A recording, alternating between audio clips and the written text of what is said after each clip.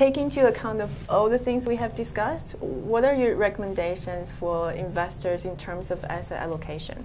We have a preference for equity risk. We, we think that you're still being rewarded and you're not going to get a big rise in US interest rates. So we, we quite like the developed markets at the moment.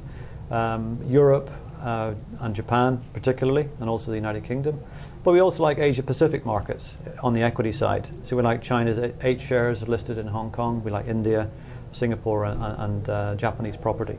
Uh, you said you prefer H shares, obviously. Well, we do, yes. Well, we like H shares in general. Okay. So we like we like that market. So if you had to choose between A and H, the valuation on H shares at what is it, six six and a half times 2015 earnings is really good value. There's only two markets in emerging markets that are cheaper. It's Nigeria and Russia. Both of those are commodity uh, countries, so you would want to hold the Chinese. Uh, any particular sectors?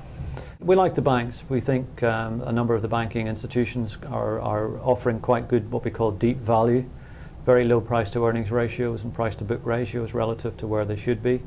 And we like some of the new economy stocks as well. So the, the, the, the anti-pollution measures, the, the telcos, the, the, the tech companies of China are, are offering quite, uh, quite good long-term uh, investment returns.